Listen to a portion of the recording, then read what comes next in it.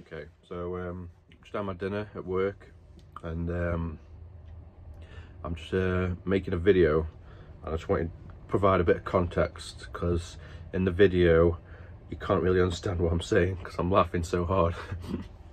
so basically, um,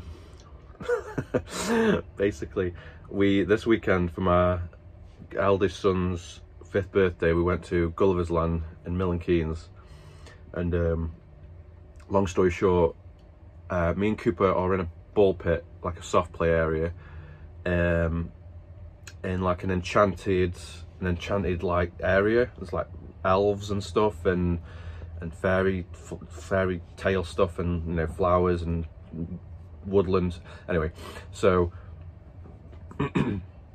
he's uh, Kathleen comes round saying William won't can't go out because he's scared of dolly he, he, was referring to as the Sleeping Beauty.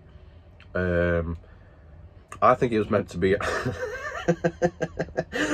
I think it was meant to be an animatronic, and it broke.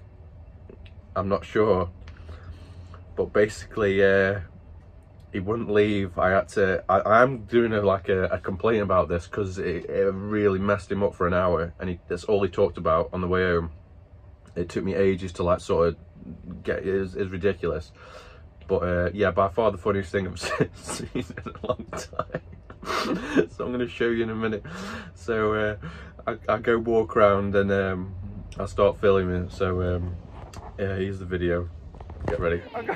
Get that video. so William's terrified. I've had to run him out. He's run, come running back saying, Sleeping Beauty's terrified.